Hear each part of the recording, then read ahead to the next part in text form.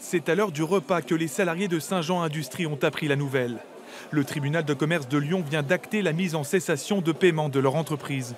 Les estomacs se dénouent, les sourires sont revenus, car les employés toucheront leur salaire de novembre.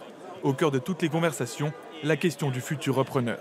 S'il y a l'hypothèse d'un repreneur où Renault va choisir, il faut que ce soit un repreneur en capacité de modifier l'outil industriel tout de suite avec une diversification immédiate et de prolonger avec des culasses. Il faut sortir aussi du système peut-être de culasses, mais c'est valable aussi bien pour l'aluminium comme pour la fonte.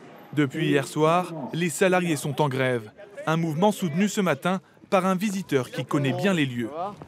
Bienvenue mon camarade, merci de ton soutien. C'est un site que je connais bien. Euh, j'étais là en 2011 euh, lors de la belle bataille, qui, euh, la belle victoire. Et donc, bah, je pense qu'à partir de, notre expérience, de l'expérience des salariés, il y a besoin de se battre et puis faire en sorte que Renault répare le préjudice de ses salariés.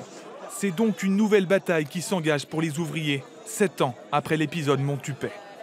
Il y a des gens qui ne s'en sont encore pas remis euh, mentalement, financièrement aussi. Donc euh, j'espère que ça va aller beaucoup plus vite. Les repreneurs potentiels ont jusqu'au 28 janvier pour candidater.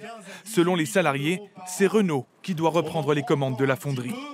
C'est lui euh, qui a monté l'entreprise ici en 1979. On était filiale Renault. on ne travaille que pour Renault, donc à un moment donné, Renault doit reprendre les rênes parce qu'en fait, il ne les a jamais lâchés. Selon les syndicats, la fonderie devrait bénéficier d'un soutien financier de Renault à hauteur de 700 000 euros par mois jusqu'en février 2019.